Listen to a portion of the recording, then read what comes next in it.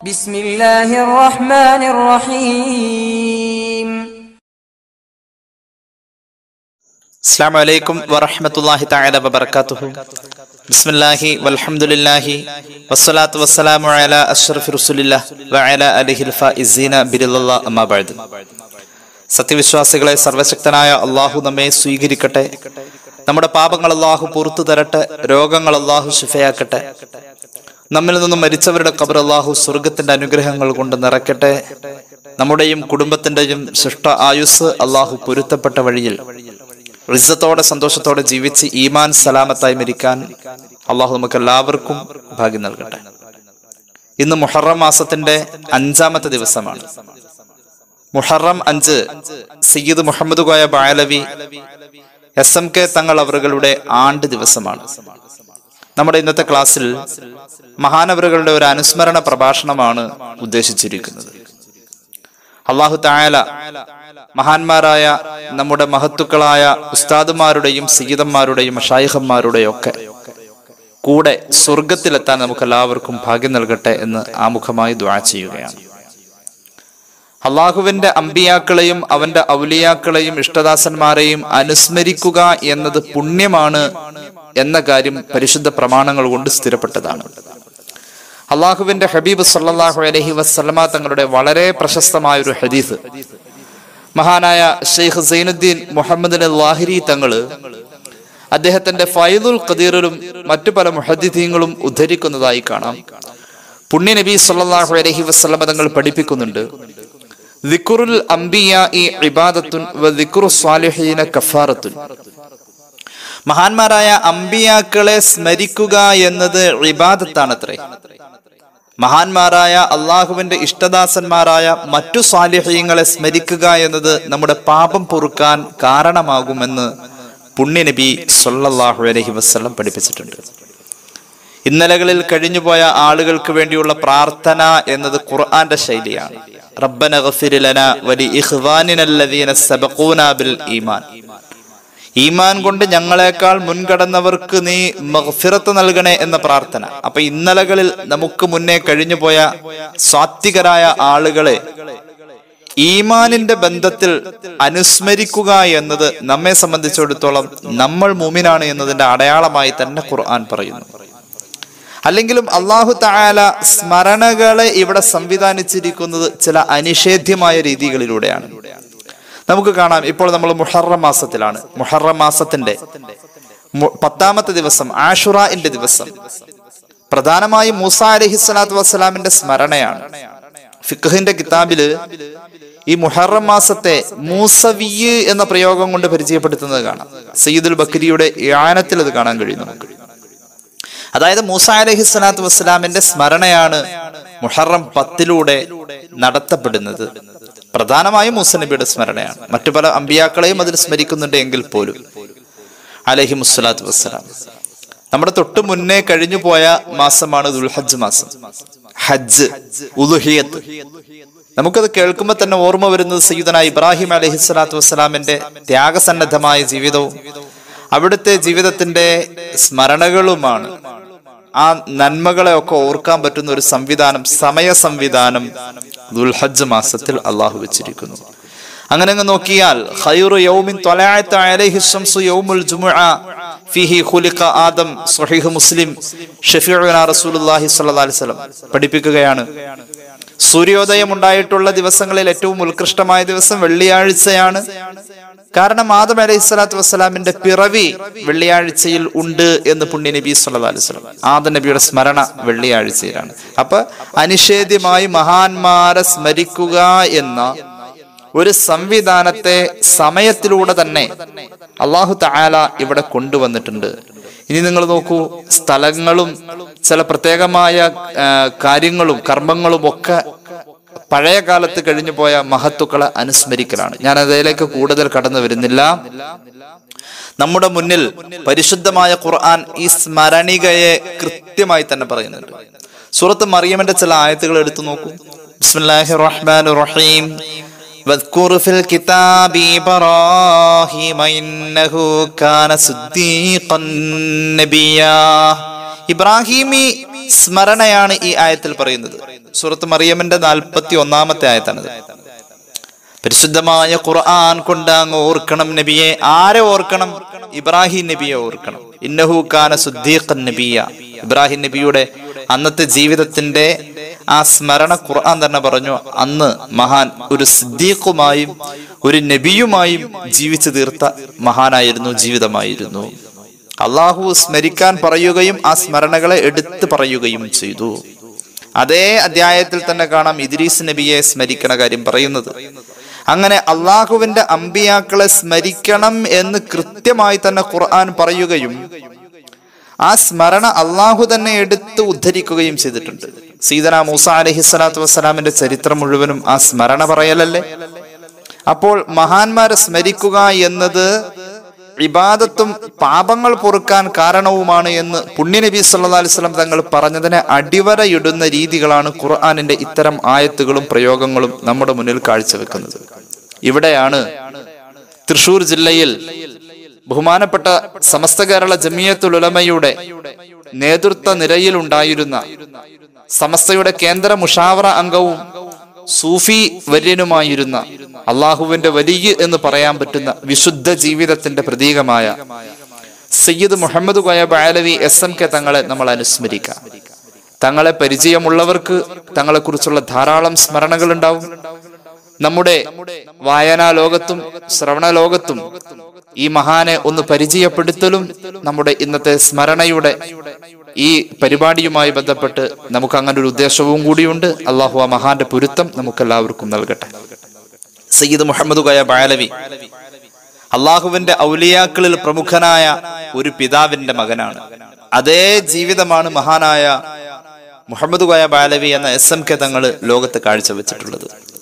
സൂഫിസത്തിന് സൗന്ദര്യമുണ്ടെന്ന് പഠിപ്പിച്ച ഒരു പുസ്തകമാണ് എസ് എം കെ തങ്ങളുടെ ജീവിതം എന്ന് പറഞ്ഞാൽ അതിൽ തെറ്റില്ല.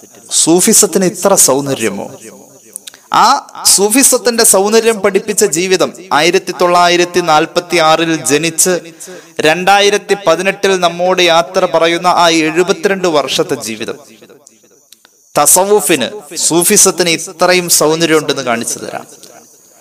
തങ്ങളവറുകളുടെ ജീവിതമാകുന്ന ആ പുസ്തകത്തെ നമ്മളൊന്ന് പഠിച്ചാൽ തങ്ങളുടെ ജീവിതം ആറ് ഘട്ടങ്ങളിലായി ആറ് മേഖലകളിലായി നിറഞ്ഞു നിൽക്കുന്നത് തങ്ങളുമായി ഇടപഴകിയവർക്ക് യഥേഷ്ടം മനസ്സിലാവും.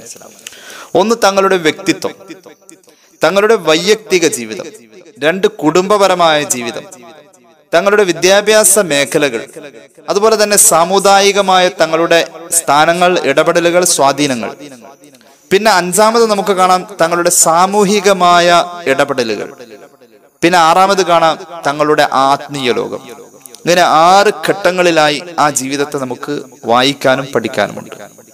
മഹാനായ തങ്ങളവറുകളുടെ കുടുംബപരമായ വിഷയങ്ങളൊക്കെ മലപ്പുറം ജില്ലയിൽ പലർക്കും അറിയാവുന്നതാണ്. തങ്ങൾ അടിസ്ഥാനപരമായി മലപ്പുറം ജില്ലക്കാരനാണ്.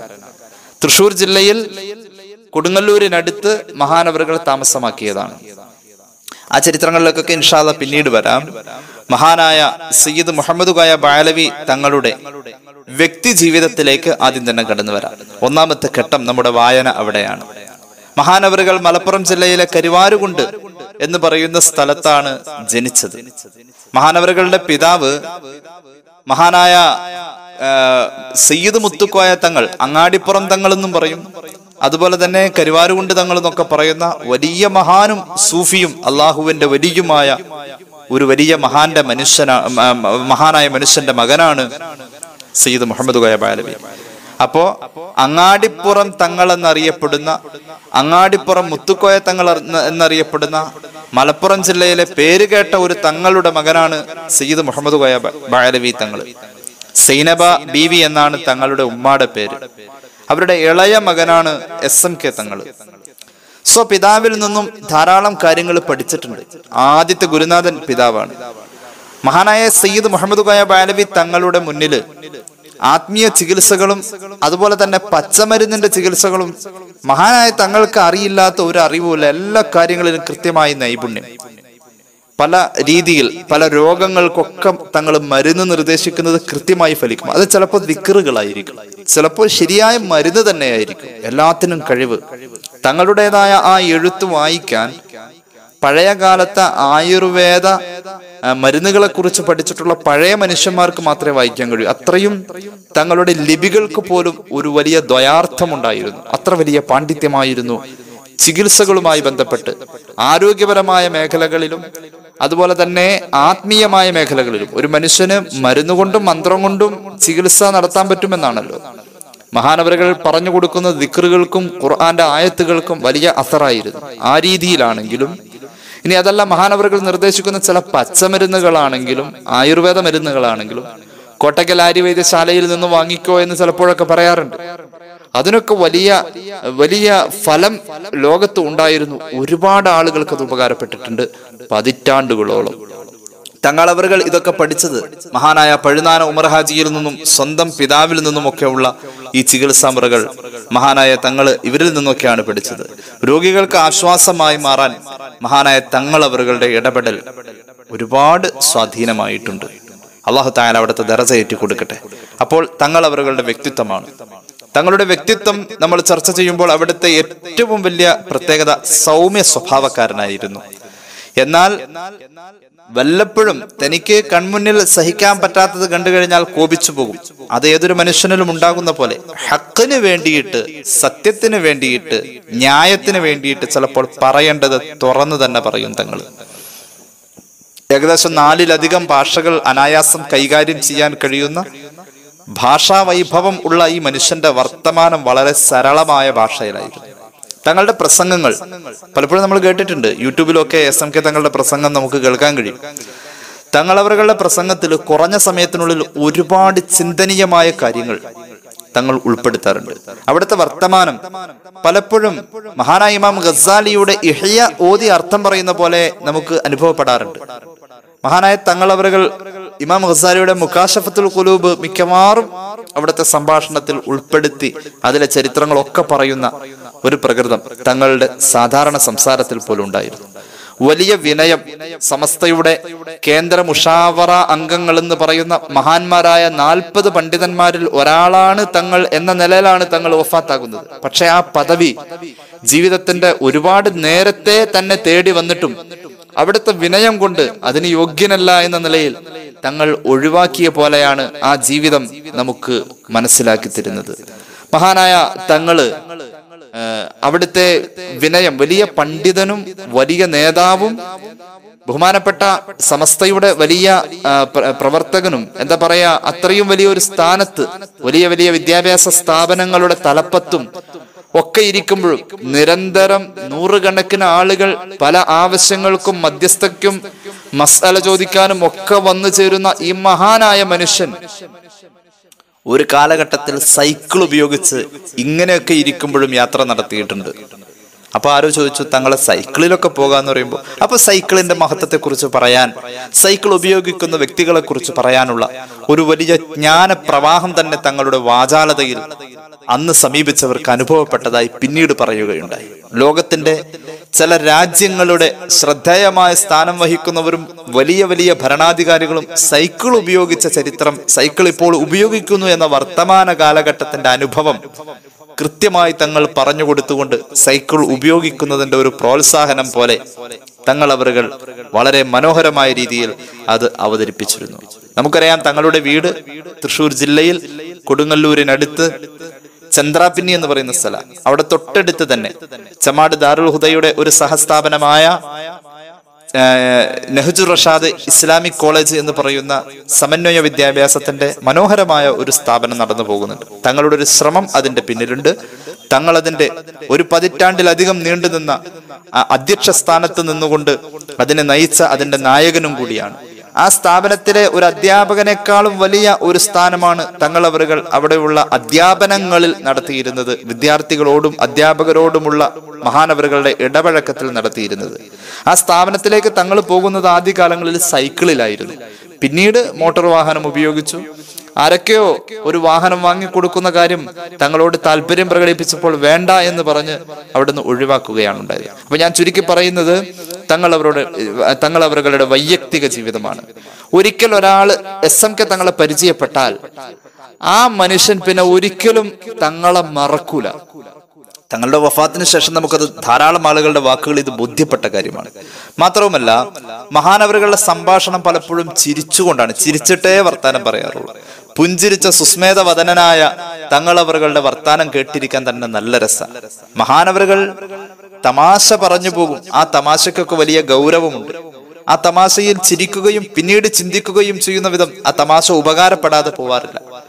തങ്ങളുടെ ഫലിതം നിറഞ്ഞ വർത്തമാനങ്ങൾ.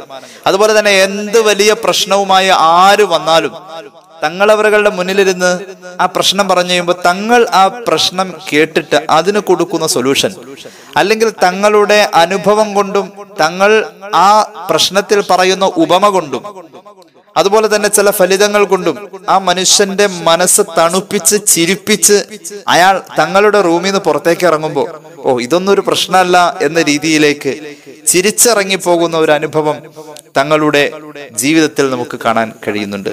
അതുപോലെ തന്നെ മഹാനവരകളുടെ സംസാരത്തിൽ ഉടനീളം ആയത്തുകളും ഹദീസുകളുമാണ്. തങ്ങളുടെ വർത്തമാനത്തിന്റെ കൊഴുപ്പിന് വേണ്ടി ഒരിക്കൽ പോലും ഒരു കളവിന്റെ ലാഞ്ചനയുള്ളത് പോലും പറയാറില്ല. ഒരു സംഘടനയുടെ തലപ്പത്തും കൃത്യമായ രാഷ്ട്രീയ ബോധവും ഉണ്ടായിട്ടും ഒരു വ്യക്തികളെയും മഹാനവറുകൾ റീബത്ത് പറയാത്ത നീണ്ടു നിൽക്കുന്ന സംസാരങ്ങളായിരുന്നു തങ്ങളുടേത്. ഇതൊക്കെ അള്ളാഹുവിന്റെ വലിയന് മാത്രം കഴിയുന്ന പ്രത്യേകതകളാണ്. മനസ്സിൽ അല്ല എന്ന വിചാരം നിലനിർത്തുന്ന ഒരു മനുഷ്യന് മാത്രമേ ഇങ്ങനെ കഴിയൂ. അവന്റെ നാവിന് കൃത്യമായ ഇലാഹി സ്മരണയിലൂടെ കൊണ്ടുപോവാൻ കഴിയുന്ന ഒരു അമാനുഷികമായ നിയന്ത്രണം ആത്മീയമായ ഒരു നിയന്ത്രണം നാവിന് കൊടുക്കാൻ കഴിയുന്ന ഒരു മനുഷ്യൻ. ആ മനുഷ്യന്റെ ഹൃദയത്തിൽ അള്ളാഹുവിന്റെ നോട്ടം ഉള്ള മനുഷ്യനാണ്. സയ്യിദ് മുഹമ്മദ് കോയ ബാലവിയെ നമുക്ക് ഇങ്ങനെയാണ് കാണാൻ കഴിയുന്നത്. മഹാനായ തങ്ങൾ നല്ലൊരു വ്യക്തിത്വമായിരുന്നു നല്ല നിലവാരമുള്ള വ്യക്തിത്വം. തങ്ങളവറുകളുടെ പ്രകാശമുള്ള മുഖം തങ്ങളുടെ വ്യക്തിത്വം തങ്ങളുടെ പ്രകാശമുള്ള മുഖം അതുപോലെ തന്നെ എപ്പോഴും ശുഭവസ്ത്രധാരിയായി ഒരേ വേഷത്തിലാണ് കണ്ടിട്ടുള്ളത് നമ്മൾ തങ്ങളുടെ വേഷത്തിൽ തന്നെ വേഷവിധാനത്തിൽ തന്നെ ഒരു വലിയ മഹാനാണ്. ഒരുപാട് ദുആ മജ്ലിസുകൾക്ക് നേതൃത്വം നൽകുന്ന ഒരുപാട് മഹലിന്റെ മധ്യസ്ഥ വഹിക്കാൻ പോകുന്ന വലിയ വലിയ സംഘടന തലപ്പത്തിരിക്കുന്ന എന്താ പറയാ ലോകത്ത് ഒരു മനുഷ്യന് ഉയരാൻ കഴിയുന്ന എല്ലാം കയ്യിലുണ്ടായിട്ടും ആ മനുഷ്യൻ തന്റെ വിനയത്തിൽ ഒതുങ്ങി നിന്ന് വേഷങ്ങളിൽ പോലും മിതത്വം പാലിച്ച ഒരു കൃത്യത പാലിച്ച അല്ലെങ്കിൽ നിങ്ങൾ തങ്ങളെ കണ്ട ഓർമ്മയുണ്ടെങ്കിൽ ഒന്ന് ഓർത്തു നോക്കൂ. ആ കവിൾത്തടത്തിൽ കിളിർത്തു നിൽക്കുന്ന താടി ഒരു ഇഞ്ച് പോലും കൂടുകയോ കുറയുകയോ ചെയ്യാതെ അത് കൃത്യമായി തന്റെ വേഷവും രൂപവും കൃത്യമായി പാലിച്ചു പോവാൻ പ്രത്യേകം ശ്രദ്ധിച്ചിരുന്ന നല്ലൊരു വ്യക്തിത്വമായിരുന്നു തങ്ങളവറുകൾ നമ്മളിൽ പലരും ഒരു വേദി കിട്ടിയാൽ അതിന്റെ മുന്നിലെ സീറ്റ് കിട്ടാത്തതിന്റെ വിഷമം ആ സദസ്സിലുള്ളവരോടും സംഘാടകരോടും പ്രകടിപ്പിക്കുന്ന പേരെടുത്ത് പറഞ്ഞു ദ്വാ ചെയ്യാത്തതിന്റെ പ്രതിഷേധം പലപ്പോഴും പലരും പ്രകടിപ്പിക്കുന്നോടത്ത് എസ് എം കെ തങ്ങളെ പഠിക്കാനുണ്ട്. തങ്ങളവറുകൾ ഒരു സദസ്സിലെത്തിയാൽ പുറകേലേക്കാ പോവാ. തങ്ങളവറുകൾ ഒരു സദസ്സിലെത്തിയാൽ പുറകിലേക്ക് പോവാം. അവിടെ ഇരിക്കാനോ നോക്ക. താഴെ ഇരിക്കാനോ നോക്ക. വലിയ വലിയ ദ്വായ മജ്ലിസുകളിൽ തങ്ങൾ ദ്വായറക്കുന്ന ആ സദസ്സുകളിൽ വഴുതു പറയാൻ പലപ്പോഴും ഈ വിനയന് വിനീതന് ഭാഗ്യമുണ്ടായിട്ടുണ്ട്. അപ്പോ ആ സദസ്സിൽ വലിയ തലയെക്കെട്ടും താടിയൊക്കെ ഉള്ള ആളുകൾ ഇരിപ്പുണ്ടാവും. ഒരുപക്ഷെ രൂപത്തിൽ അവർക്ക് ആലിമ്യങ്ങളുടെ ഫിഗർ ഉണ്ടെങ്കിലും ചിലപ്പോ ആ നാട്ടിലെ ഏതെങ്കിലും കാരണവന്മാരായിരിക്കും. തങ്ങൾ ഈ രൂപഭാവം കാണുന്ന സ്വാഭാവികമായും ഒരു മഹത്വം വിചാരിച്ചു പോകുന്ന വലിയ താടിക്കാരും തലയെക്കെട്ടുകാരൊക്കെ ഇരിക്കുന്ന സദസ്സിൽ മാസങ്ങൾക്ക് മുമ്പേ നോട്ടീസ് അടിച്ച് ഫ്ലക്സ് വെച്ച് എസ് എം കെ തങ്ങൾ ദ്വാര ചെയ്യാൻ വരുന്നു എന്ന് പറഞ്ഞോടത്ത് സദസ്സിൽ വന്നാൽ തങ്ങളവറുകൾ ദ്വാരക്കാൻ കൈ പൊക്കുന്നതിന് മുന്നേ ആ ഇരിക്കുന്ന മുഴുവൻ ആളുകളെയും നിർബന്ധിക്കും നിങ്ങൾ ദ്വാരന്നാ മതി ഞാൻ ആമീൻ പിടിക്കാന്ന് പറയും. അത്രയും വിനയായിരുന്നു. ആളുകൾ തങ്ങളെ കൊണ്ട് തന്നെ ദ്വാ ചെയ്യിപ്പിക്കും. അത്രത്തോളം ഒരു സദസ്സിനെ ആഗ്രഹിക്കാത്ത മനുഷ്യൻ. ഇന്നത്തെ കാലഘട്ടത്തിൽ അങ്ങനത്തെ മനുഷ്യർ തന്നെ കുറവാണ്. ഒരു സദസ്സിൽ വന്നാൽ ആ സദസ്സിന്റെ മുകളിൽ കയറിയിരിക്കാൻ തനക്ക് തനിക്ക് യോഗ്യതയില്ല എന്ന് പറയുന്ന ഒരു പക്ഷത്തേക്ക് ഞാൻ അതിന് പറ്റിയ ആളാണോ എന്ന് ചിന്തിക്കുന്നത് അള്ളാഹുവിന്റെ റസൂൽ സല്ലല്ലാഹു അലൈഹി വസല്ലമ തങ്ങളുടെ പേരക്കുട്ടിയാണ്. ഒരു വലിയ പണ്ഡിതനാണ്. ഒരു വലിയ നേതാവാണ്. മാത്രവുമല്ല മഹാനവറുകൾക്ക് തന്റെ കണ്ണിൽ കാണുന്നത് തെറ്റാണെന്ന് ബോധ്യം വന്നു കഴിഞ്ഞാൽ അള്ളാഹുവിന്റെ വജഹിനെ പ്രതീക്ഷിച്ചുകൊണ്ട് തങ്ങൾ കൃത്യമായി അവിടെ അതിൽ ഇടപെട്ടിരിക്കും. സൗമ്യ സ്വഭാവത്തിന് ഒരു സിംഹത്തിന്റെ ഗാംഭീര്യം വരുന്നത് തങ്ങളുടെ മുന്നിൽ ഒരു മുങ്കറായ കാര്യം കണ്ടാൽ ഒരു എതിർക്കപ്പെടേണ്ട കാര്യം കണ്ടാൽ കൃത്യമായി ആര് ആര് എന്ന വലിപ്പം നോക്കാതെ ആരോട് എന്ന വലിപ്പം നോക്കാതെ തങ്ങൾ ആ മുൻകറായ എതിർക്കപ്പെടേണ്ട കാര്യത്തെ കൃത്യമായി അവിടെ അവതരിപ്പിക്കുക എന്ന ദീനിന്റെ ഉത്തരവാദിത്വമുള്ള അള്ളാനെ അല്ലാതെ മറ്റാരും പേടിയില്ലാത്ത ഒരു മഹാനായിരുന്നു. മഹാനവരുകളെ കുറിച്ച് അത്തരത്തിലുള്ള ധാരാളം സ്മരണകൾ നമുക്കറിയാം. തങ്ങൾ അവസാനം ഒരു ഇമാമായി ഖത്തീബായി ജോലി ചെയ്ത മഹലിൽ തൃശൂർ ജില്ലയിൽ തന്നെ. ആ കാലഘട്ടത്തിൽ വീഡിയോ ക്യാമറ കല്യാണത്തിന് ഉപയോഗിക്കുന്നതുമായി ബന്ധപ്പെട്ട മഹല്ല് കമ്മിറ്റിയുടെ നിലപാടിൽ തങ്ങൾ ഉറച്ചു നിൽക്കുകയും ഒരു വീട്ടിൽ വെച്ച് ആ വിഷയത്തെ കൃത്യമായി ആ വീട്ടുകാരൻ മഹലിലെ കാര്യപ്പെട്ട സ്ഥാനത്തിരിക്കുന്ന ഒരു അധികാരി കൂടിയായിട്ടും അയാളുടെ വീട്ടിലും പറയപ്പെട്ട മഹല്ല് കമ്മിറ്റി പാസാക്കിയ ആ കാര്യത്തെ നടപ്പാക്കാൻ വേണ്ടി ഉറച്ചു നിന്ന ആ ഒരു സംഭവം തങ്ങൾ പലപ്പോഴും പറഞ്ഞിട്ടുണ്ട്. അതിനുശേഷം എനിക്ക് പറ്റിയ പണിയല്ല പള്ളിയിലെ ഹത്തീബാവ എന്ന പണി ഞാനത് അവിടം കൊണ്ട് ഉപേക്ഷിച്ചു. ഞാൻ പറഞ്ഞുകൊടുത്തത് നടന്നു അന്ന് പക്ഷേ അത്ര ബലം പ്രയോഗിക്കാൻ എനിക്ക് അതിനുള്ള അതിനെനിക്ക് താല്പര്യമില്ല എന്ന് പറഞ്ഞ് ആ ഉത്തരവാദിത്തത്തിന്റെ ഗൗരവത്തെ മനസ്സിലാക്കി തങ്ങളവറുകൾ ആ അനുഭവം പറഞ്ഞതായി പലപ്പോഴും ഓർക്കാറുണ്ട്. അതുപോലെ തന്നെ നമുക്ക് എല്ലാവർക്കും അറിയാവുന്ന ഒരു സംഭവമാണ് ആലുവക്കടുത്ത് ഒരു വ്യാജ ഷെയ്ഖ് രൂപപ്പെടുകയും അയാൾ വലിയ ഷെയ്ഖാണ് കുത്തുബാണ് കുത്തുബ് സമാനാണ് എന്നൊക്കെ പറഞ്ഞുകൊണ്ട് അയാളുടെ പ്രചരണം പുറത്തേക്ക് വരികയും ചെയ്ത കാലഘട്ടത്തിൽ ഇയാളെക്കുറിച്ച് അന്വേഷണങ്ങളും പഠനങ്ങളും ഒക്കെ ഉണ്ടായി ഈ തൊരീക്കത്ത് സംബന്ധമായിട്ടുള്ള കൃത്യമായ ഒരു മറുപടി വരാൻ സമസ്തയുടെ ഭാഗത്തു നിന്നും ഒരു സമയം വൈകൽ ഉണ്ടായപ്പോൾ ഈ കാലയളവിൽ സയ്യിദ് മുഹമ്മദ് കോയബ അലവി തങ്ങൾ അവിടെ ചെന്നുവെന്നും അവിടെ ചെന്നപ്പോൾ ഭക്തജനങ്ങളെ പോലെ ഷെയ്ഖിനെ കാണാൻ വേണ്ടി കൈകൂപ്പി നിൽക്കുന്ന ആളുകളുടെ ഇടയിലേക്ക് തങ്ങളവറുകൾ കടന്നു എന്ന് ആ ഷെയ്ഖിന്റെ മുന്നിലേക്ക് കടന്നു ചെന്ന് ആധികാരികമായി കസേര വലിച്ചിട്ടിരുന്നിട്ട് അദ്ദേഹത്തോട് സംസാരിച്ചു. അദ്ദേഹത്തിന്റെ യോഗ്യതയെ അളന്നു. സംഭാഷണത്തിലും സംസാരത്തിലും ഒരു മുറബിയായ ഷെയ്ഖിൽ ഉണ്ടാവാൻ പാടില്ലാത്തത് പലതും നിഴലിച്ച് കണ്ടുകൊടുത്ത് കൃത്യമായി തങ്ങൾ അയാളെ തിരുത്തുകയും അയാളോട് പറയേണ്ടത് പറഞ്ഞിട്ട് അവിടുന്ന് പോരുകയും ചെയ്തു. അപ്പോൾ ഒരു എതിർക്കപ്പെടേണ്ട കാര്യം തന്റെ കൺമുന്നിൽ വന്നാൽ ഒരു മൂമിനായ മനുഷ്യന് എതിർക്കപ്പെടേണ്ട കാര്യം കൺമുന്നിൽ വന്നാൽ കയ്യുകൊണ്ട് തടയാൻ പറ്റുന്നത് അവൻ കയ്യുകൊണ്ട് തടയട്ടെ നാവ് കൊണ്ട് പറയാൻ പറ്റുന്നത് അവൻ നാവ് കൊണ്ട് പറയട്ടെ ഇത് രണ്ടും സാധ്യമല്ലെങ്കിൽ മനസ്സുകൊണ്ട് വെറുക്കട്ടെ എന്ന് പുണ്യ നബി സല്ലാ അലൈഹി വസല്ലം തങ്ങൾ പഠിപ്പിച്ച ആ ഹദീഫിന്റെ അധ്യാപനം അങ്ങനെ തന്നെ നമുക്ക് കാണാൻ കഴിയും തങ്ങൾ അവരുടെ ജീവിതത്തിൽ. നമ്മൾ അവിടുത്തെ ജീവിതത്തിന്റെ ആറ് ഘട്ടങ്ങളാ പറയുന്നത് അതിൽ വ്യക്തിത്വമാണ് തങ്ങളുടെ വൈയക്തിക ജീവിതമാണ് നമ്മൾ ഈ പറഞ്ഞുകൊണ്ടിരിക്കുന്നത്. തങ്ങൾ നല്ലൊരു കർഷകനായിരുന്നു. കൃഷി സംബന്ധമായിട്ടുള്ള വർത്താനം തങ്ങളിൽ നിന്നും കേൾക്കാൻ ധാരാളം കഴിയുമായിരുന്നു. തങ്ങളുടെ തറവാട് മലപ്പുറം ജില്ലയിലെ കരുവാരുകൊണ്ട് മേലാറ്റൂര് ഭാഗത്തൊക്കെ കൃഷിയുമായി ബന്ധപ്പെട്ട് വലിയ പാരമ്പര്യമുള്ള കുടുംബമായിരുന്നു. തങ്ങൾ അതുകൊണ്ട് കൃഷിയെക്കുറിച്ച് നല്ല വൈഭവം തങ്ങൾക്ക് ഉണ്ടായിരുന്നു. അപ്പൊ തങ്ങൾ നല്ലൊരു കർഷകനായിരുന്നു എന്ന് തങ്ങളുടെ വർത്തമാനത്തിൽ പലപ്പോഴും നിഴലിച്ച് കാണാറുണ്ട്. പല അമ്പിയാക്കളും കർഷകരായിരുന്നു. കാന ആദമു ഹാരിസ എന്ന് പുണ്യനബി സല്ലാ അലിസ്ലാം വസല്ലം ആദം നബി പോലും കർഷകനായിരുന്നു എന്നാണ്. നമ്മുടെ പല ഉഹറവിയായ ആലിമ്യങ്ങളുടെയും ജീവിതത്തിൽ കൃഷിയുമായുള്ള ബന്ധം നമുക്ക് കാണാൻ കഴിയും. മഹാനായ കാളമ്പാടി ഉസ്താദിനെ നമുക്ക് കൃഷിയുടെ മേഖലകളിൽ ഒരു കർഷകനായി കാണാൻ കഴിയും. മഹാനായ നെല്ലിക്കുത്ത് ഇസ്മായിൽ മുസ്ലിയാരെ നമുക്ക് ഒരു കർഷകനായി കാണാൻ കഴിയും. നെല്ലിക്കുത്ത് ഇസ്മായിൽ മുസ്ലിയാര് മരിക്കുന്നതിന് മുന്നേ നൂറ് തെങ്ങ് നടണം എന്നത് ഒരു ആഗ്രഹമായി കൊണ്ട് നടക്കുകയും ആ മഹാൻ അത് നടുകയും ചെയ്തതായി നമുക്ക് കാണാൻ കഴിയും. അങ്ങനെ പല ആലിമീങ്ങളും കൃഷിയോട് ബന്ധപ്പെട്ട് നിന്ന പോലെ തന്നെ സയ്യിദ് മുഹമ്മദ് കോയ ബാലവി തങ്ങൾക്ക് ഒരു കർഷക സ്വഭാവം ശരിക്കുണ്ടായിരുന്നു. മാത്രമല്ല സൽക്കാര പ്രിയനായിരുന്നു. ആ വീട്ടിൽ ഒരു ദിവസം എത്ര ചായ എത്ര സർവത്ത് എത്ര ജ്യൂസ് എത്ര ഭക്ഷണം ഒരാൾക്ക് ഭക്ഷണം കൊടുക്കുന്നതിന് വയറ് നിറച്ചു കൊടുത്ത് അയാളുടെ സംതൃപ്തി അടഞ്ഞ് അയാൾ അവിടെ അവിടം കൊണ്ട് തങ്ങളെ മറക്കാൻ കഴിയാത്ത ഒരു അനുഭവം വെച്ച് പോകും വിധം തങ്ങൾ സൽക്കരിക്കും എന്ന കാര്യത്തിൽ ഒരു ഒരു സംശയവും ആർക്കുമില്ല തങ്ങളെ കുറിച്ചുള്ള ഓർമ്മകളിൽ നമുക്ക് ഏറ്റവും കൂടുതൽ ഓർക്കാൻ കഴിയുന്ന ഒരു കാര്യം അതാണ്. മാത്രമല്ല തങ്ങളുടേതായ വ്യക്തിപരമായ പല വിഷമങ്ങളുണ്ട് രോഗങ്ങളുണ്ട് പ്രയാസങ്ങളുണ്ട് ശാരീരിക അസ്വസ്ഥതകളുണ്ട്. ഇത് മറ്റൊരാളോട് പരസ്യപ്പെടുത്താൻ തങ്ങൾ ഒരിക്കലും ഇഷ്ടപ്പെട്ടിട്ടില്ല. പ്രത്യേകിച്ച് ഈ ഉള്ളവൻ തങ്ങളുമായി ഏകദേശം പത്തിലധികം പന്ത്രണ്ടോറും പന്ത്രണ്ടോളം വർഷം തങ്ങളോട് അടുത്ത് നിന്ന് ഇടപഴകിയ ആളാണ് പക്ഷേ തങ്ങളുടെ ഒരു ശാരീരിക വേദന അസ്വസ്ഥത വ്യക്തിപരമായ പല ബുദ്ധിമുട്ടുകൾ ഒന്നും പറയാതില്ല എന്നല്ല പറയാറുണ്ട്. പക്ഷെ അതൊന്നും ഓടി അങ്ങ് പറയില്ല തങ്ങൾ തങ്ങൾ പരമാവധി പറയാതെ നോക്കും. കാരണം എന്തെന്ന് ചോദിച്ചാൽ അതൊരു വലിയ ക്വാളിറ്റിയാണ് ഒരു മൂമിനായ മനുഷ്യന്റെ ക്വാളിറ്റിയാണ്. സ്വർഗത്തിന്റെ നിധിയാണ് ഈ സ്വഭാവം എന്ന് പുണ്യ നബി വസല്ലം പഠിപ്പിക്കുന്ന ഒരു ഹദീസ് നമുക്ക് കാണാൻ കഴിയും. സ്വർഗത്തിന്റെ നിധിയാണ്.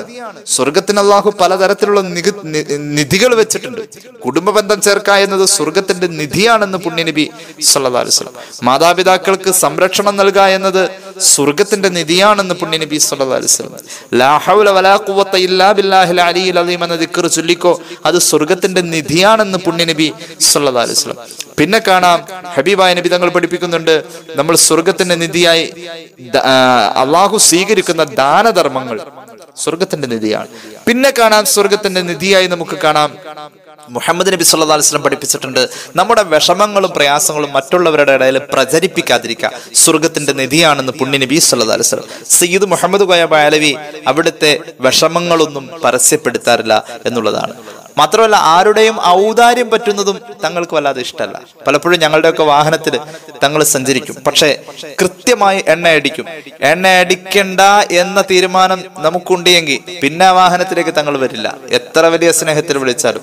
തങ്ങൾ തങ്ങൾക്ക് ഇഷ്ടമുള്ള ഒരു സംഖ്യ. അത് നമ്മളോട് ചോദിക്കും ഏകദേശം എത്രയാവുന്നു ആയിരത്തി അഞ്ഞൂറ് എന്നാ പറയണമെങ്കിൽ രണ്ടായിരത്തിന് അടിക്കും. ആരുടെ ഔദാര്യം പറ്റില്ല അപ്പൊ നമുക്ക് അത് വേണ്ടിയിട്ടല്ല. പക്ഷേ തങ്ങൾ അത് ആ വാഹനത്തിലാണെങ്കിൽ എണ്ണയടിച്ച് തരാതിരുന്ന അടുത്ത പ്രാവശ്യം തങ്ങൾ ആ വാഹനം വിളിക്കില്ല. അത്രത്തോളം തങ്ങൾ ഒരാളിൽ നിന്നും ഒരു ഔദാര്യവും പറ്റാൻ ഇഷ്ടപ്പെട്ടിരുന്നില്ല. അതായത് ദുനിയവിയായ മോഹങ്ങളൊന്നുമില്ല എന്ന് ചുരുക്കം. തങ്ങളുമായി ഒരുപാട് യാത്രകൾ നമുക്ക് അനുഭവിക്കാൻ കഴിഞ്ഞിട്ടുണ്ട്. അള്ളാഹു കബൂലാക്കട്ടെ. ആ അനുഭവത്തിൽ നിന്നുകൊണ്ട് തങ്ങളുടെ ഒരു പ്രധാന ക്വാളിറ്റി മനസ്സിലാക്കിയത്. ആരുടെയും ഔദാര്യം പറ്റുന്നത് മഹാനവറുകൾ. അങ്ങനെ വലിയ ഇഷ്ടമുള്ള കാര്യമായിരുന്നില്ല. മാത്രമല്ല ഏറ്റെടുത്ത ദൗത്യങ്ങളെ കൃത്യമായി പൂർത്തീകരിക്കും.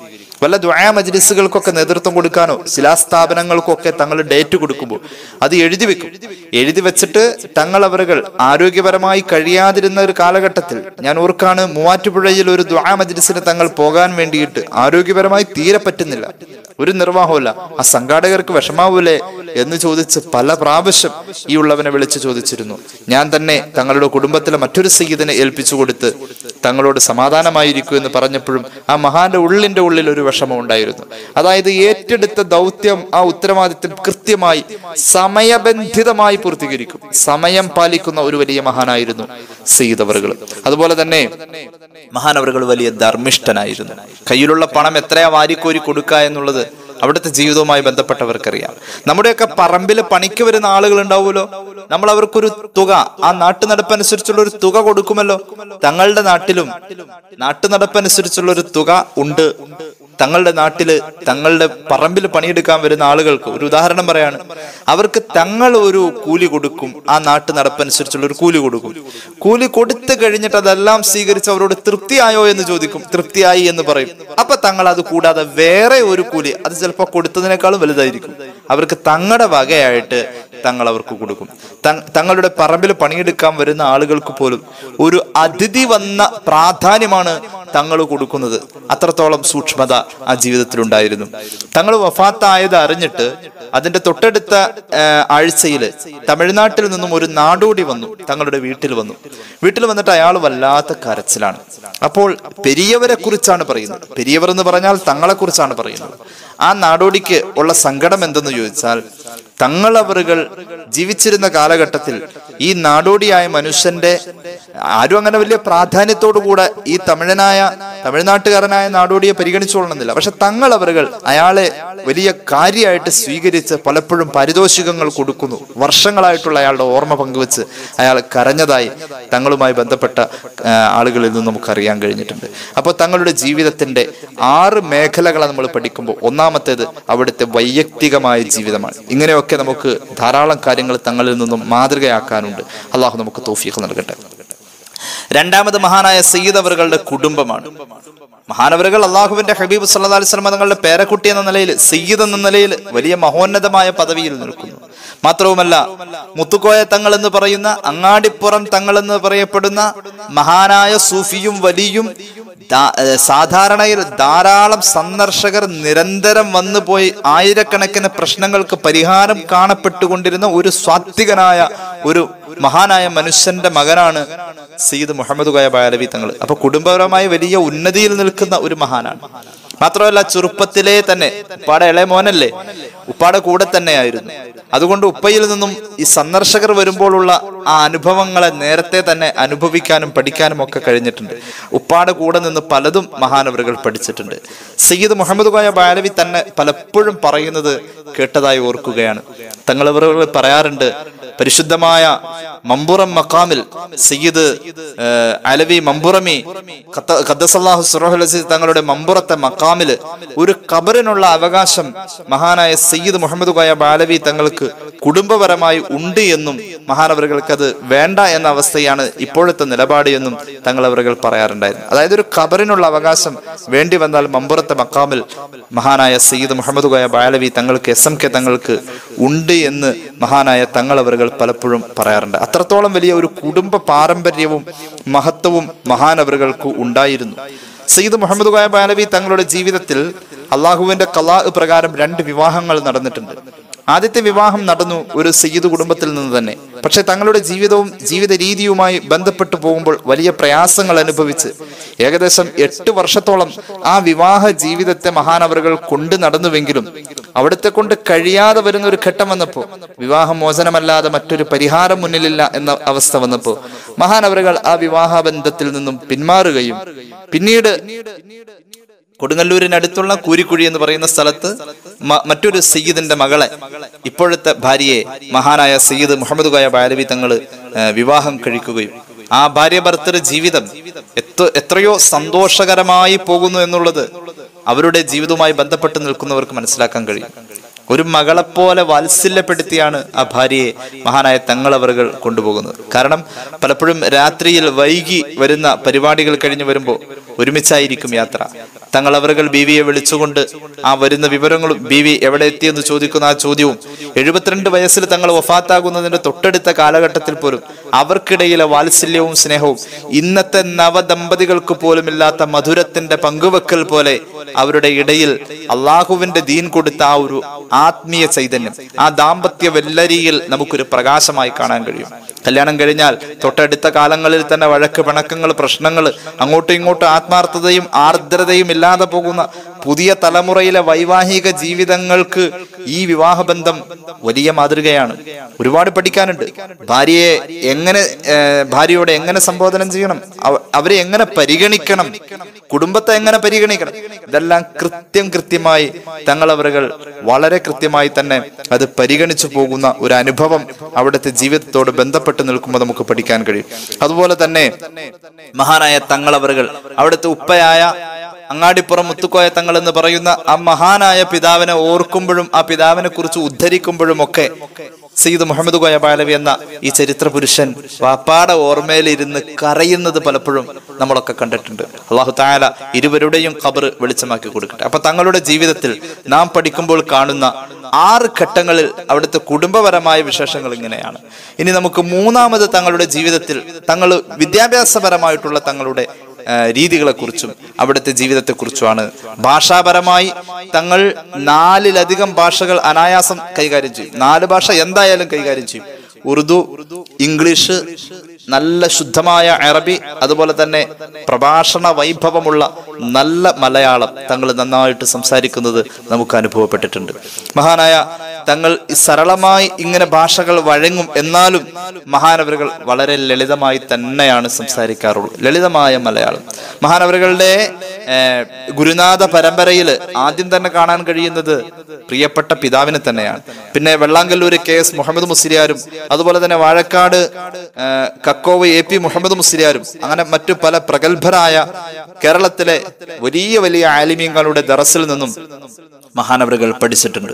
അപ്പൊ അത്രയും വലിയ ഒരു വിദ്യാഭ്യാസത്തിന്റെ ശേഖരം തങ്ങളുടെ ചെറുപ്പകാലത്തിൽ തന്നെ ഉണ്ടായിട്ടുണ്ട്. ഉന്നതരായ പണ്ഡിതന്മാരിൽ നിന്നും. അങ്ങനെ കേരളത്തിൽ നിന്നും പ്രമുഖമായ പല ദർസുകളിൽ നിന്നും വലിയ വലിയ ആലിമീങ്ങളിൽ നിന്നും വലിയ വലിയ കിതാബുകൾ ഓതിയ ഈ മഹാപണ്ഡിതൻ പിന്നീട് മഹാരാഷ്ട്രയിലെ മാലികാവിലെ മദ്രസ മില്ലത്തിൽ നാല് വർഷം പോയി. അവിടെ നിന്ന് പഠിച്ചു മിടുക്കനായി പഠിച്ചു. അവിടെ നിന്നുകൊണ്ട് ഉറുദു ഭാഷയിൽ കിതാബുകളെയൊക്കെ ദൗറ പൂർത്തിയാക്കിയിട്ട് സനത് വാങ്ങി.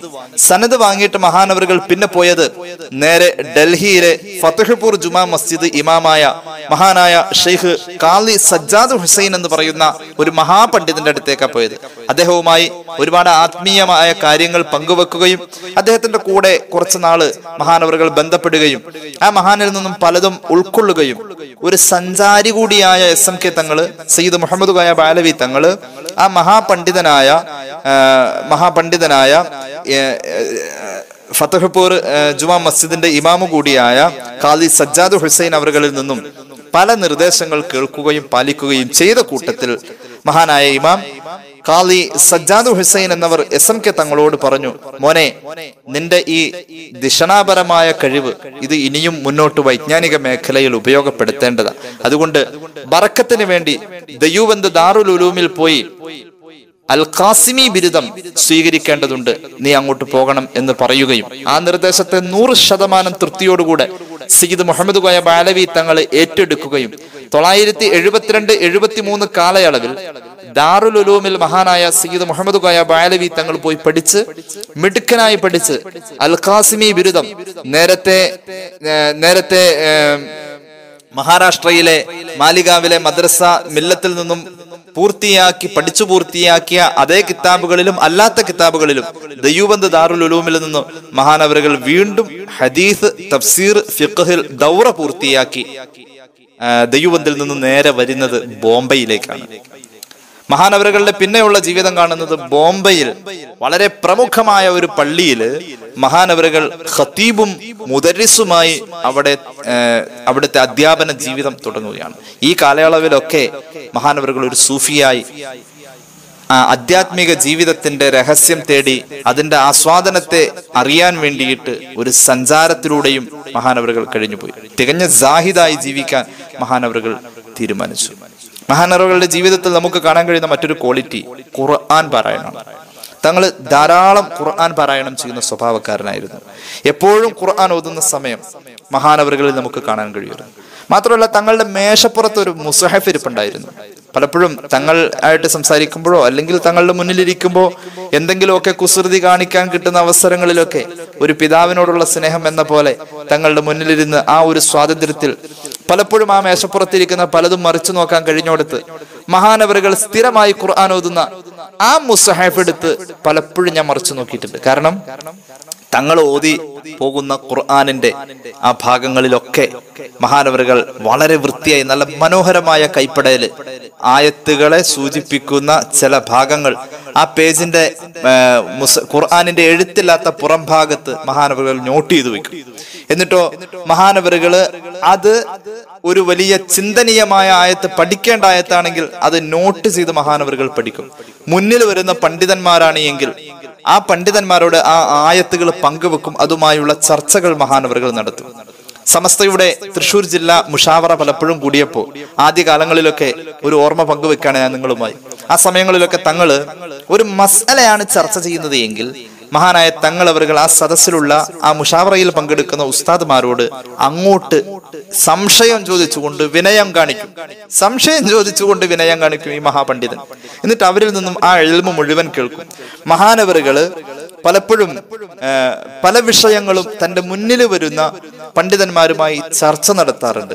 എത്രത്തോളം എന്ന് ചോദിച്ചാൽ ഒരിക്കൽ ഒരു മസല ചോദിക്കാൻ വേണ്ടിയിട്ട് തൃശൂർ ജില്ലയിൽ പതിറ്റാണ്ടുകളോളം ദറസ നടത്തിയ മഹാപണ്ഡിതനായ അലി അക്ബർ ഫൈസി ഉസ്താദിനെ ഒരു മസല ചോദിക്കാൻ വേണ്ടിയിട്ട് തങ്ങൾ അവരുകൾ അങ്ങോട്ട് ഫോൺ ചെയ്തുകൊണ്ട് ആ മസാല സംബന്ധമായ എല്ലാ വിഷയങ്ങളും കൃത്യമായി ചോദിക്കുന്ന ഒരു അന്വേഷണ ബോധത്തിന്റെ എന്നാൽ വിനയം കൊണ്ട് തന്റെ പാണ്ഡിത്യത്തെ മറച്ചു വെക്കുന്ന ഒരു വിനയാന്യതനായ ഒരു മഹാന്റെ സ്വഭാവത്തെ ആ ഫോൺ കോളിലൂടെ നമുക്ക് മനസ്സിലാക്കാൻ കഴിയും വിധം ഒരു അനുഭവം ഈ ഉള്ളവനുണ്ടായിട്ടുണ്ട്. അത്രത്തോളം സെയ്ദ് അവറുകളുടെ വിജ്ഞാനവുമായി ബന്ധപ്പെട്ടിട്ടുള്ള ആ മേഖല നമുക്ക് ഇങ്ങനെയൊക്കെ ധാരാളം കാര്യങ്ങളിലൂടെ നമുക്ക് വായിച്ചെടുക്കാൻ കഴിയും.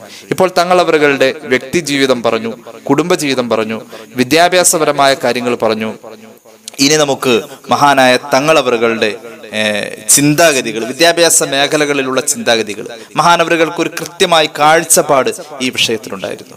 വിദ്യാഭ്യാസപരമായി എങ്ങനെ സമുദായം ഉയരണം എന്നതിനെ കുറിച്ച് കൃത്യമായ കാഴ്ചപ്പാട് സയ്യിദ് മുഹമ്മദ് കോയ ബാലവി തങ്ങൾക്കുണ്ടായിരുന്നു. ഭൗതിക ആത്മീയ സമന്വയ വിദ്യാഭ്യാസത്തെ ഏറെ പ്രോത്സാഹിപ്പിച്ചിട്ടുണ്ട് തങ്ങൾ പലപ്പോഴും രണ്ട് വിദ്യാഭ്യാസവും കിട്ടിയ പലരും ഒരു മുസ്ലിയാർ ഫീൽഡിൽ നിൽക്കാതെ പള്ളി ജോലിയുമായി ബന്ധപ്പെട്ട് തുടർന്ന് നിൽക്കാതെ പല മേഖലകളിലേക്കും അവർ പോകുന്നത് കണ്ടപ്പോ തങ്ങളോട് പലരും ചോദിച്ചപ്പോൾ തങ്ങൾ പറഞ്ഞത് എല്ലാ മേഖലകളിലും ഇവർ വേണമെന്നാണ് ആര് വേണം? ഇൽമു പഠിച്ചവൻ. സമന്വയ വിദ്യാഭ്യാസത്തെ പ്രോത്സാഹിപ്പിച്ചു. അതുവഴി തങ്ങൾ പല മേഖലകളിൽ ഇൽമു പഠിച്ചവൻ എത്തണം എന്ന അഭിപ്രായത്തിൽ ഉറച്ചു നിന്നു. മഹാനവറുകളുടെ ഒരു വലിയ ശ്രമമാണ് തൃശൂർ ജില്ലയിലെ ചാമക്കാലയിലെ നെഹ്ജു റഷാദ് ഇസ്ലാമിക് കോളേജ് അതുപോലെ തന്നെ എം ഇ എസ് അങ്ങനെ തുടങ്ങുന്ന ധാരാളം സ്ഥാപനങ്ങൾ മഹാനായ തങ്ങളവറുകളുടെ വിജ്ഞാനവുമായി ബന്ധപ്പെട്ടിട്ടുള്ള അവിടുത്തെ വിദ്യാഭ്യാസ ചിന്തകളിലും കാഴ്ചപ്പാടുകളിലും വന്നിട്ടുള്ള വലിയ വലിയ സ്ഥാപനങ്ങളാണ്. അതുപോലെ തന്നെ എല്ലാ മേഖലയിലും ഇൽമുമായി ബന്ധപ്പെട്ടവർ ഉണ്ടായിക്കഴിഞ്ഞാൽ ഹക്ക് നടപ്പാക്കാൻ അള്ളാനെ പേടിയുള്ളവൻ ഉണ്ടല്ലോ എന്ന ആശ്വാസമാണ് തങ്ങളവറുകൾ അതിലൂടെ ആ ഒരു പരിഹാരമാണ് കണ്ടിരുന്നത്. മഹാനായ തങ്ങളവറുകളാണ് ഈ പറയപ്പെട്ട നെഹ്ജു റഷാദ് ഇസ്ലാമിക് കോളേജിലും മറ്റു സ്ഥാപനങ്ങളിലും ഒക്കെ ആ വർഷാരംഭത്തിലെ ആദ്യത്തെ ക്ലാസ് തങ്ങളായിരിക്കും എടുക്കുക. അതായത് ആ സ്ഥാപനങ്ങളിലെ നൂറുകണക്കിന് വരുന്ന വിദ്യാർത്ഥികൾ മുഴുവനും തങ്ങളുടെ ശിഷ്യന്മാരാണ്. മാത്രമല്ല വിദ്യാർത്ഥികളുമായി വളരെ കൂടുതൽ ഇടപഴകുന്ന സ്വഭാവം തങ്ങളിൽ പലപ്പോഴും കണ്ടിട്ടുണ്ട്. തങ്ങൾ അവരുമായി ഇടപഴകുമ്പോൾ മഹാനവറുകൾ വളരെ വിനയത്തോടുകൂടെ സൈക്കിൾ ചവിട്ടി കോളേജിൽ വന്നു കഴിഞ്ഞാൽ ഉസ്താദുമാരുടെയും സ്റ്റാഫുകളുടെയും കൃത്യമായ വിശേഷങ്ങളും വിവരങ്ങളും അന്വേഷിച്ച് വിദ്യാർത്ഥികളുമായി ഇടപഴകും. അവർക്ക് എന്തും ചോദിക്കാം. പലപ്പോഴും പല വിദ്യാർത്ഥികളും തങ്ങളുമായുള്ള സംഭാഷണങ്ങളെ കുറിച്ചുള്ള ഓർമ്മകൾ പറഞ്ഞപ്പോൾ തങ്ങളുടെ ജീവിതത്തെക്കുറിച്ചും ചരിത്രത്തെക്കുറിച്ചും ഞങ്ങൾ തങ്ങളുടെ തങ്ങളോട് തന്നെ ചോദിക്കാൻ മറന്നുപോയി എന്ന പറഞ്ഞത്. അതായത് അവർക്ക് ആ മഹാന്റെ ആയുസ് ആസ്വദിച്ച് തീർന്നു പോകുന്നത് അറിയില്ലായിരുന്നു. ആ മഹാനുമായുള്ള ഇടപഴക്കത്തിൽ ആ- മഹാന്റെ ആയുസ്സിനെ ഇവർ ആസ്വദിക്കുന്നത് തീർന്നു പോയിക്കൊണ്ടിരിക്കുകയാണ് ആയുസ്. അതറിഞ്ഞില്ല. തങ്ങൾ ഇത്ര പെട്ടെന്ന് മരിച്ചു പോകുന്ന ഓർത്തില്ല.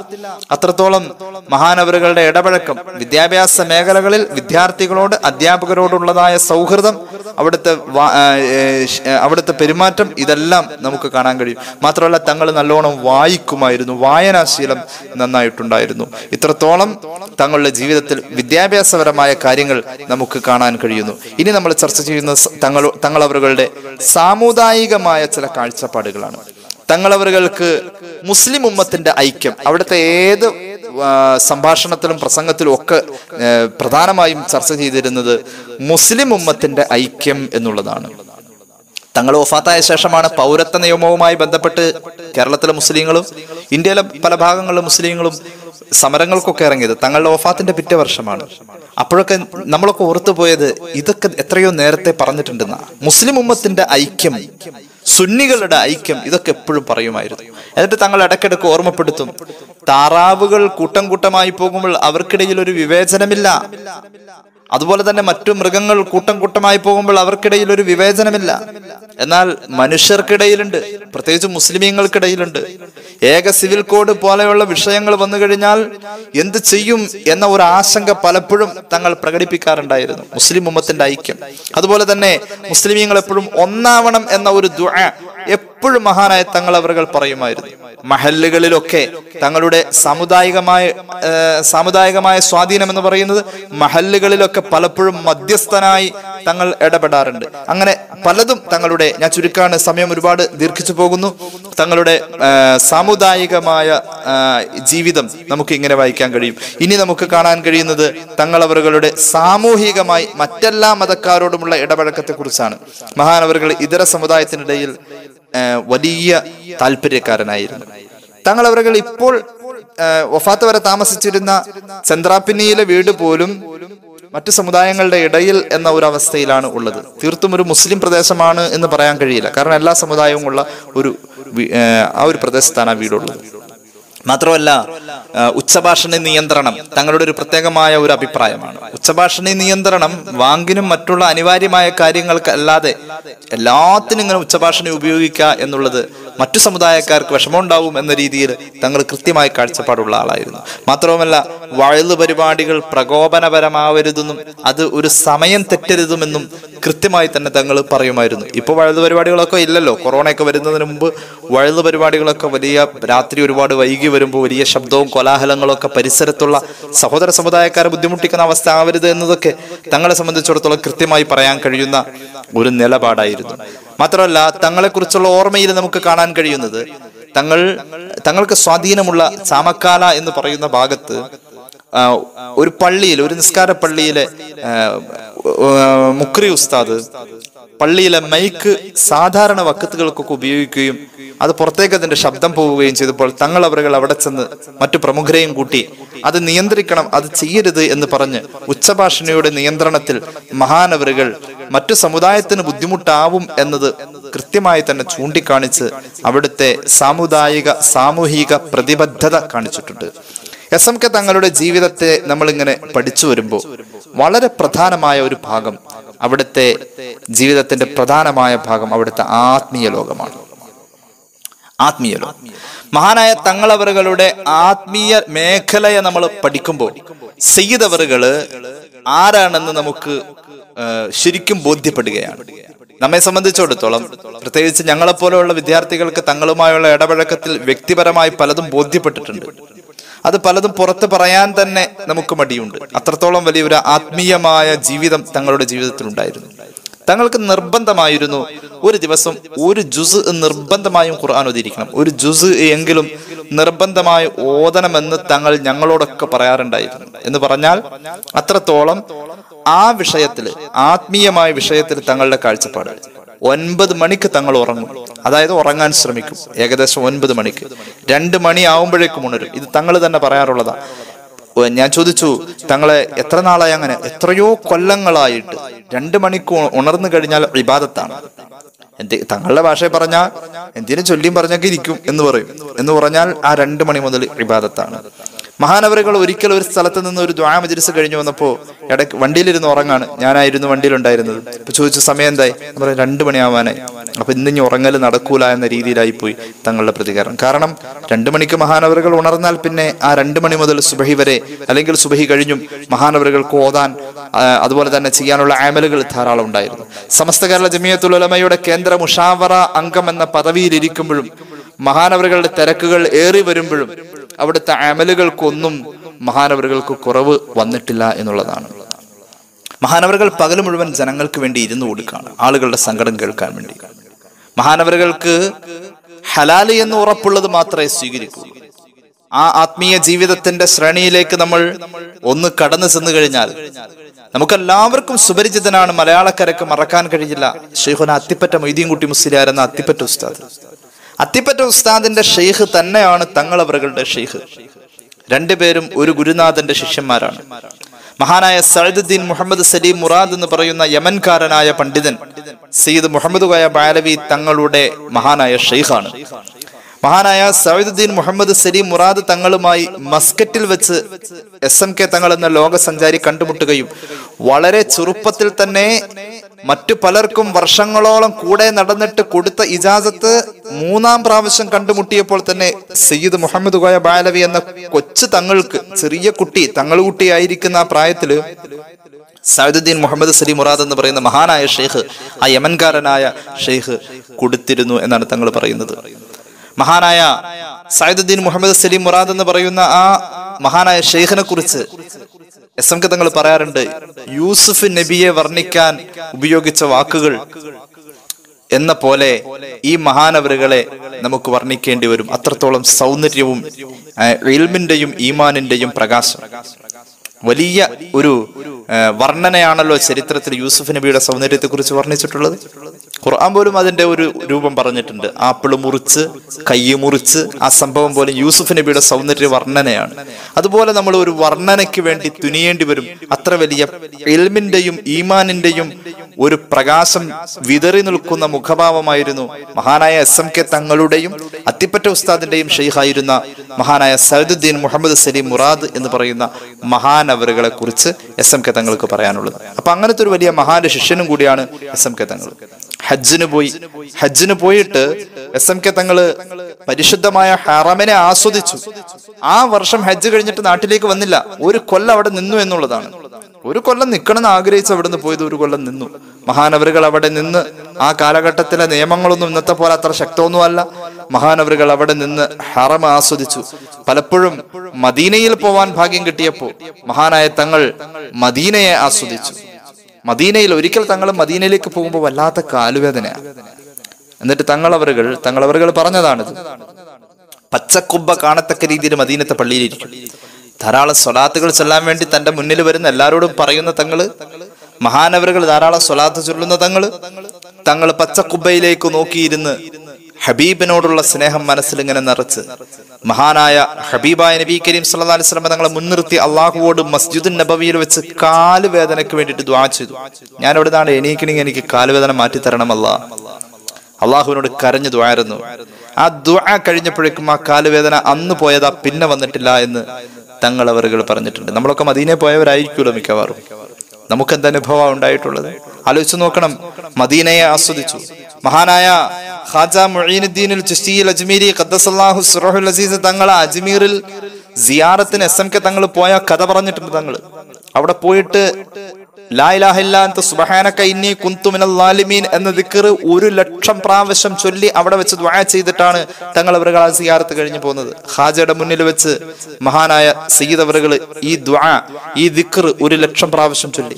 അത്രത്തോളം മഹാന്മാരുമായുള്ള ബന്ധത്തിലും എത്രത്തോളം മരിക്കുന്നതിന് മുമ്പ് രണ്ടായിരത്തി പതിനെട്ട് മാർച്ച് മാസം ഏഴാം തീയതി ബുധനാഴ്ച സമസ്തയുടെ കേന്ദ്ര മുഷാവറ നടക്കുമ്പോൾ ഈ ഉള്ളവൻ തങ്ങളുടെ കൂടെ അന്ന് യാത്ര പോയിരുന്നു. കോഴിക്കോടുക്ക് തങ്ങളുടെ കൂടെ പോയിരുന്നു.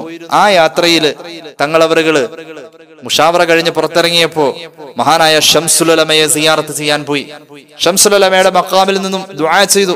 അവിടെ നിന്നും തിരിച്ചു കോഴിക്കോട് നിന്ന് തങ്ങൾ മുമ്പൊരിക്കൽ പോകേണ്ട ഒരു സ്ഥലത്ത് പോകാൻ പറ്റിയില്ലല്ലോ എന്ന രീതിയിൽ ഒരു കടമ നിർവഹിക്കൽ എന്ന പോലെ അവിടുത്തെ ഒരു കുടുംബാംഗത്തിന്റെ വീട്ടിൽ പോയി അവിടെ പോയി ദുആ ചെയ്ത്. അത് കഴിഞ്ഞ് തങ്ങളവറുകൾ അവിടെ നിന്ന് യാത്ര തുടങ്ങി. വളാഞ്ചേരിയിലെത്തിയപ്പോ അത്തിപ്പറ്റ ഉസ്താദിനെ കാണണം എന്ന താല്പര്യം ഞാൻ ചു- പലപ്പോഴും പറയാറുണ്ട് എന്നോട് ഞാൻ തങ്ങളോട് അങ്ങോട്ട് ചോദിച്ചപ്പോൾ തങ്ങൾ പറഞ്ഞു കാണാം എന്ന്. അത്തിപ്പറ്റ ഉസ്താദിന്റെ വീട്ടിൽ വിളിച്ച് അത്തിപ്പറ്റ ഉസ്താദിന്റെ മകനെ വിളിച്ച് അബ്ദുൽ വാഹിദ് ഉസ്താദിനെ വിളിച്ച് എസ് എം കെ തങ്ങൾ വരുന്നു. അതുകൊണ്ട് അവിടെ സൗകര്യപ്പെടുമോ എന്ന് ചോദിച്ചപ്പോൾ സൗകര്യമുണ്ട് എന്ന് പറഞ്ഞ് അത്തിപ്പറ്റ ഉസ്താദിനെ കാണാൻ വേണ്ടി ആളുകൾ ഇങ്ങനെ വളരെ തിരക്ക് പിടിച്ച് സീതവറുകൾ ചെന്നിട്ട് ആ തിരക്ക് പിടിച്ചിരിക്കുന്ന ആളുകളുടെ കൂടെ കാത്തുക അവരും കാത്തിരിക്കുന്നു തങ്ങളും കാത്തിരിക്കുന്നു. തങ്ങൾക്ക് അവിടെ ചെല്ലാനുള്ള സൗകര്യമുണ്ട്. അത്തിപ്പറ്റ ക്ഷീണിതനാണ്. പക്ഷേ സയ്യിദ് മുഹമ്മദ് കോയ ബാലവിയാണ് സമസ്തയുടെ മുഷാവറ മെമ്പറാണ് ഈ വന്നു നിൽക്കുന്നത് എന്ന് പറഞ്ഞപ്പോ വലിയ സയ്യിദാണ് സുഫിയാണെന്നൊക്കെ പറഞ്ഞ് കേട്ടപ്പോൾ ആളുകൾ എല്ലാവരും കൂടി തങ്ങൾ തങ്ങളവറുകൾ ഉസ്താദിന്റെ അടുത്തേക്ക് തനിയെ ആനയിച്ചു. ഉസ്താദിന്റെ അടുത്തേക്ക് പോവാൻ തങ്ങളുടെ കൂടെ ഈ ഉള്ളവനും ഭാഗ്യം കിട്ടി. അത്തിപ്പറ്റ ഉസ്താദിന്റെ അടുത്തേക്ക് എസ് എം കെ തങ്ങൾ കടന്നു ചെല്ലലോടുകൂടെ സുബഹാന റബ്ബി എന്തൊരു കരച്ചിലാണ് രണ്ടുപേരും രണ്ടുപേരും ആ പഴയ കാലത്തെ സൗഹാർദ്ദം ഒരു റൂമിൽ കാലങ്ങളോളം കഴിഞ്ഞ അല്ലെങ്കിൽ വളരെ അടുത്ത് ഇടപഴകിയ ആ പഴയ ചങ്ങാതിയെ കണ്ടതോടുകൂടെ രണ്ടുപേരും കെട്ടിപ്പുണർന്നിട്ടുള്ള ഒരു കരച്ചിൽ. ജീവിതത്തിൽ ഒരിക്കൽ മാത്രമേ അങ്ങനത്തെ ഒരു അനുഭവം ഉണ്ടായിട്ടുള്ളൂ. രണ്ടുപേരും അങ്ങോട്ടും ഇങ്ങോട്ടും ചുടുചുംബനങ്ങൾ കൊടുത്ത് ആ രണ്ട് സൂഫിയാക്കൾ ആ രണ്ട് ഔലിയാക്കൾ തമ്മിലുള്ള ആ ഒരു സംഗമം അത് വല്ലാത്തൊരു കാഴ്ച തന്നെയായിരുന്നു.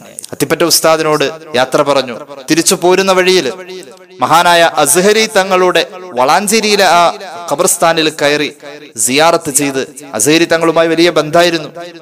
ഏറ്റവും അടുപ്പുള്ള ആളുകളിൽപ്പെട്ട ഒരാളായിരുന്നു അസഹരി തങ്ങൾ.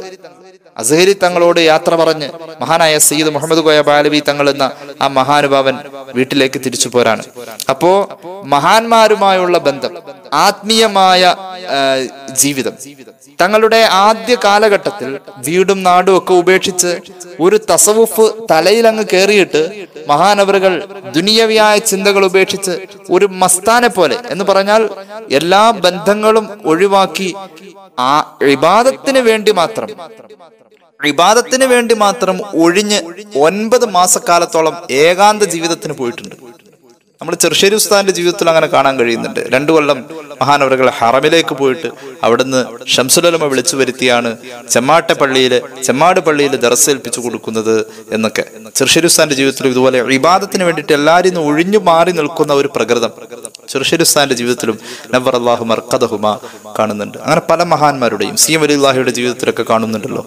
നമ്മൾ ഒരു ജനങ്ങളുമായുള്ള ഇടപഴക്കത്തിൽ നിന്ന് മാറി അള്ളാഹുവിനെ ഇബാദത്ത് ചെയ്യാൻ വേണ്ടി ഒഴിഞ്ഞു നിൽക്കുന്ന ഒരു സ്വഭാവം ഏകാന്ത ജീവിതം. എസ് എം കെ തങ്ങൾ ഒൻപത് മാസക്കാലത്തോളം അങ്ങനെ പോയി. എന്നിട്ട് അപ്പൊ ചോദിക്കും കുടുംബത്തോട് ഉത്തരവാദിത്വമില്ല കുടുംബത്തിന് കൊടുക്കാനുള്ള പണം മുഴുവനും ചെളിങ്ങാട് ഹംസ മുസ്ലിയാരുടെ കയ്യിൽ കൊടുത്തേൽപ്പിച്ചു. കുടുംബത്തിന് കൃത്യമായി ചെലവിന് ഉള്ള പണം എത്തിച്ചു കൊടുത്തു.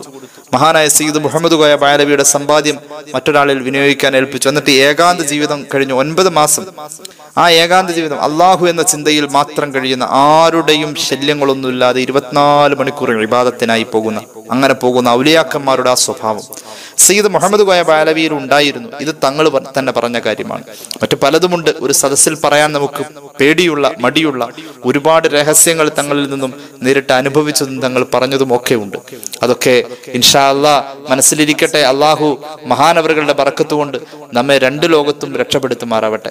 അങ്ങനെ കുടുംബത്തിലെ പ്രധാനപ്പെട്ട മറ്റു ചില സീതന്മാരൊക്കെ വിളിച്ചു വരുത്തിയിട്ടാണ് ആ ഏകാന്ത ജീവിതത്തിൽ നിന്നും മഹാനവറുകൾ തിരിച്ചു നാട്ടിലേക്ക് എത്തിയത്. ദുആക്ക് ഇജാബത്തുള്ള ഒരു മഹാനായിരുന്നു സയ്യിദ് മുഹമ്മദ് ഖായ ബാലവി എന്ന് പറയുന്ന മഹാനവറുകൾ എപ്പോഴും തങ്ങൾ പറയുന്ന ഒരു ഉപദേശമുണ്ട് എല്ലാവരോടും ചൊല്ലാൻ പറയുന്ന പ്രധാനപ്പെട്ട മൂന്ന് ദിക്കറുകളാണ് ലാഹൗല ചൊല്ലിക്കോ എണ്ണം വേണ്ട ശുദ്ധി വേണ്ട ഖിബില വേണ്ട എത്രയും ചൊല്ലിക്കോ.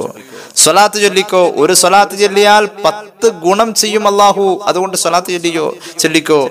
അൽഹംദുലില്ല വർദ്ധിപ്പിച്ചോ. അൽഹംദുലില്ല വർദ്ധിപ്പിച്ചാൽ അസീദന്നക്കും അള്ളാഹു കൂടുതൽ അനുഗ്രഹങ്ങൾ തരും. ഈ ആയത്തും ഓതും. അങ്ങനെ വരുന്നവരുടെ മുന്നിൽ ഈ മൂന്ന് ദിക്കറുകൾ പറയും. ലാ ഹൗല സ്വലാത്ത് അൽഹംദുലില്ല ഇതിങ്ങനെ വർദ്ധിപ്പിച്ചോ എന്ന് പറയാറുണ്ട് തങ്ങൾ ആര് ഏത് പ്രശ്നമായിട്ട് വന്നാൽ അതാ പറയാറ് മിക്കവാറും. പിന്നെ തങ്ങളുടെ ജീവിതത്തിൽ കാണുന്ന ഒരു പ്രധാന ഉപദേശം. തങ്ങൾ പറയും രണ്ട് കാര്യങ്ങൾ ശ്രദ്ധിച്ചു കഴിഞ്ഞാൽ നമുക്ക് ഭൂമിയിൽ രാജാവിനെ പോലെ കഴിയാം. തങ്ങൾ എപ്പോഴും പറയും രണ്ട് കാര്യം ശ്രദ്ധിച്ചാൽ മതി ഭൂമിയിൽ രാജാവിനെ പോലെ കഴിയാം. രണ്ട് കാര്യങ്ങൾ. ഒന്നാമത്തെ കാര്യം ഒന്നാമത്തെ കാര്യം ഉള്ളത് കൊണ്ട് തൃപ്തിപ്പെട്ട് ജീവിക്കാൻ ശീലിക്കാം. രണ്ടാമത്തേത് ഹറാമുകളെ അവഗണിച്ച് ഹറാമിനെ സൂക്ഷിച്ച് ജീവിക്കാം.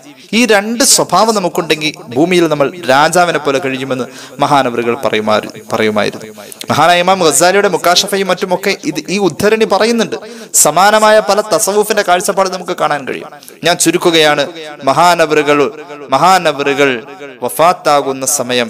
വഫാത്താകുന്നതിന് മുന്നേ മഹാനവറുകൾ എറണാകുളത്തെ സ്വകാര്യ ഹോസ്പിറ്റലിൽ ഒരു ഓപ്പറേഷൻ കയറ്റുന്നതിന് മുമ്പ് മഹാനവറുകൾ ആ ഓപ്പറേഷനോട് അനുബന്ധമായിട്ടുള്ള ഒരു സമയത്താണ് അതിനുശേഷം തൊട്ടടുത്ത ഒന്ന് രണ്ട് ദിവസത്തിന് ശേഷമാണ് മരിക്കുന്നത് വഫാത്താകുന്നത്.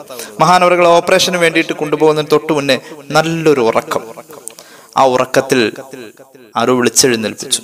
ആ ഉറക്കം തുടർന്നിരുന്നുവെങ്കിൽ കണ്ടിരുന്ന സ്വപ്നം അത്രയും ആസ്വദിച്ചു. ഞാൻ നല്ലൊരു സ്വപ്നത്തിലായിരുന്നു എന്ന ആ ഒരു സന്തോഷം. ആ വിളിച്ചെഴുന്നേൽപ്പിക്കുന്നതിൽ സ്വപ്നം കണ്ട് ആസ്വദിച്ച് തീർന്നില്ല എന്ന പോലെ ഞാൻ നല്ലൊരു സ്വപ്നത്തിലായിരുന്നു.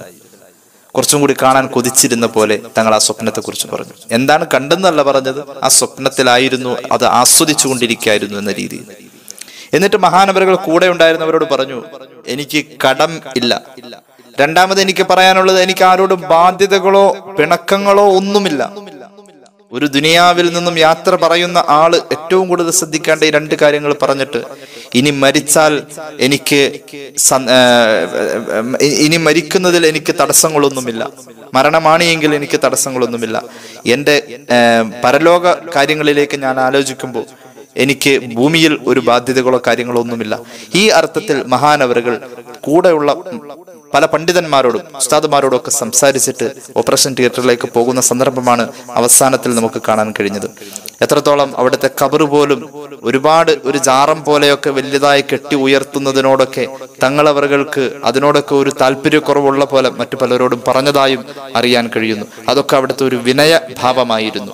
അത്രത്തോളം ആ മഹാനുഭാവൻ ജീവിതത്തിലും ജീവിതശേഷം മരണശേഷം ഒരു വിനയം തങ്ങളെ പ്രതിനിധീകരിച്ച എല്ലാവരോടും തങ്ങൾ സംബോധനം ചെയ്ത എല്ലാവരോടും തങ്ങൾ ഇടപഴകിയ സമൂഹത്തിലും ആ വിനയത്തെ ജീവിച്ചിരുന്ന പോലെ മരണാനന്തരവും മഹാനവറുകൾ പ്രകടിപ്പിച്ചു എന്നുള്ളതാണ്. ഞാൻ കൂടുതലൊന്നും പറയുന്നില്ല. പരിശുദ്ധ ഖുർആൻ പറഞ്ഞല്ലോ.